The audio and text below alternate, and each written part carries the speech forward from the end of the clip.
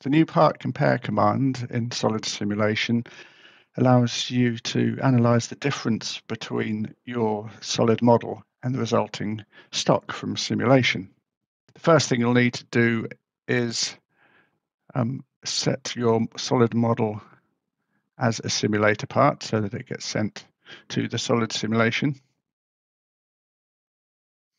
If I just run this quickly to get the simulation result, there we have it.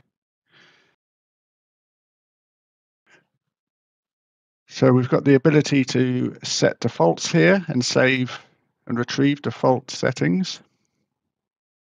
So you can set the interval between the colors to whatever you want. And it will update the numbers here. You can set your, your maximum in the range and minimum in the range. And it will update these accordingly.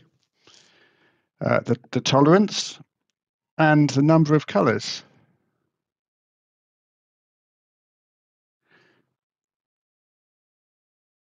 So if I just get my default, so with these settings, um, any anything that any material that is more than 0.1 millimeter stock will appear in light blue and dark blue, and anything less than uh, 0.1 will be yellow or red.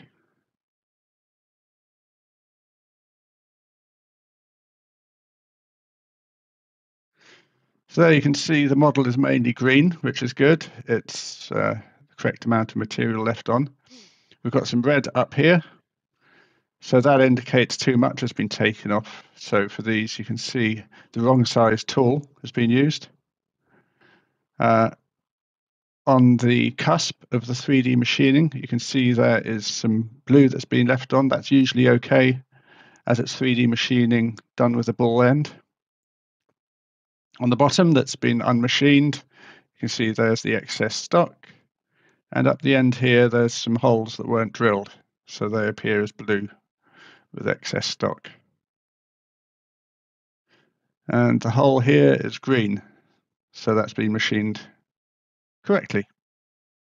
So it's a nice easy way to verify your, your part for production.